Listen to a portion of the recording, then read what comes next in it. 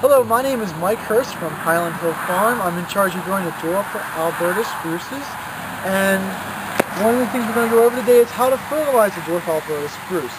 This right here is an example of a dwarf Alberta spruce. And before we do any fertilizer, we have to identify what kind of plant this is.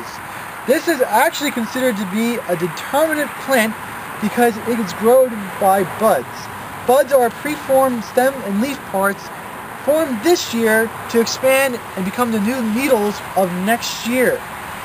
So if you want good growth for next year, you have to fertilize this year for the growth for the new parts to form in the bud.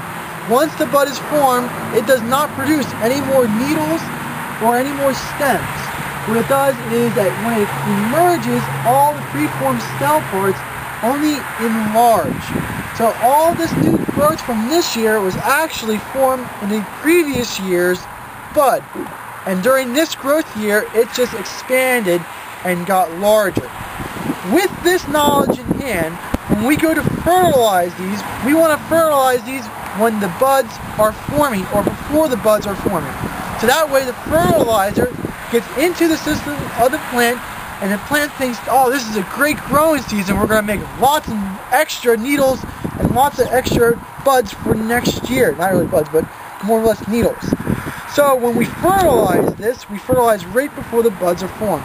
And these guys, the buds form about a little bit late August, somewhere in September. That's when the buds are formed. So we want to fertilize before that. So we do like a June, July, sometime in August, just so the buds get the fertilizer for next year.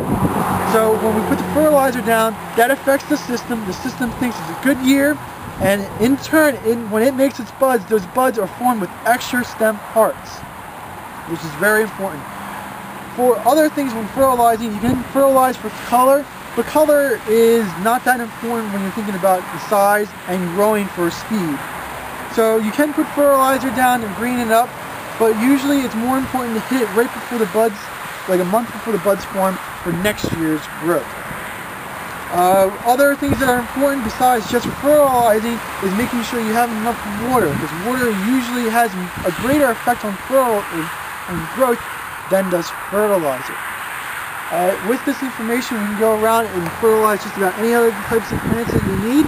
And if you have any questions on specific plants, please give us a call at